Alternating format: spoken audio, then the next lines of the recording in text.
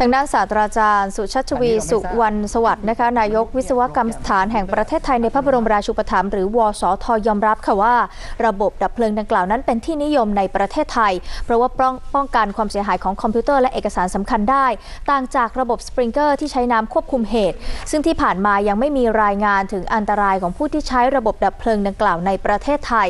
แต่ว่าในต่างประเทศมีเหตุการณ์จริงเกิดขึ้น แต่ไม่รุนแรงถึงขั้นมีผู้เสียชีวิต เบื้องต้นวสทได้ตั้งข้อสงสัยไว้ 3 ข้อว่า 1. ทำไมขณะที่เกิดเหตุไม่มีเพลิงไหม้ระบบถึงได้ปล่อยก๊าซออกมา 2 ก็คือว่าทำไมถึงมีผู้เสียชีวิตในเมื่อหน้าเว็บไซต์ของธนาคารระบุว่าก๊าซที่ถูกปล่อยออกมานั้นไม่เป็นอันตราย และสุดท้ายคือทำไมผู้เสียชีวิตถึงหนีออกมาไม่ทัน ทั้งหมดนี้จะรวบรวมเพื่อนำข้อมูลไปศึกษาและออกข้อกำหนดด้านความปลอดภัยในอนาคตต่อไป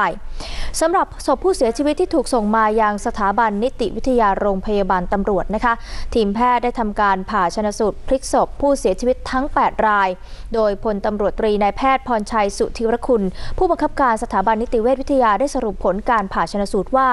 สาเหตุการเสียชีวิตเกิดจากสมองขาดอากาศ ซึ่งเป็นผลมาจากสารไพโรเจนในถังแก๊ส โดยพบว่าร่างกายของผู้เสียชีวิตทุกคนภายนอกไม่มีบาดแผล แต่อวัยวะภายในมีสีสด ต่างจากผู้เสียชีวิตทั่วไปที่มีสีซีดจาง อย่างไรก็ตามแพทย์ได้เก็บตัวอย่างเลือด และปัสสาวะไปตรวจ เพื่อหาสารเคมีปนเปื้อนที่มีอนุภาคเล็กมาก เพราะว่าถือเป็นครั้งแรกที่มีผู้เสียชีวิตจากสารเคมีชนิดดังกล่าวค่ะ